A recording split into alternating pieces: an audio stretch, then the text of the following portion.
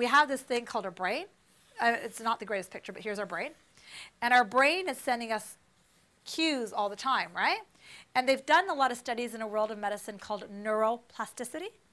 And in the neuroplast in the old realm of medicine, it was thought that let's just say you've got depression.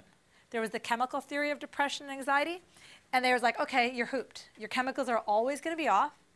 You're always going to need Prozac. You're always going to need Cipralex because your chemicals are hooped. What neuroplasticity is discovering, and it's not rocket science, is that is that the depression is because we fired from this disc all the time. Is that whatever occurs, not whatever, but more than often what occurs is something will occur and I will feel guilt. So I've started momentum. And then once momentum starts, I keep firing from here.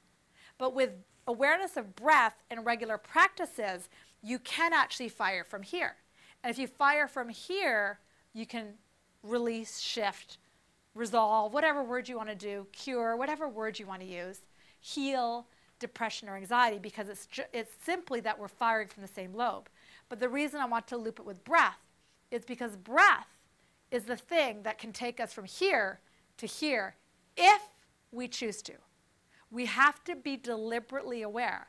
When we were walking down to Whole Foods, we were chatting, and I said, all that happens the more you do this is you become more conscious and aware.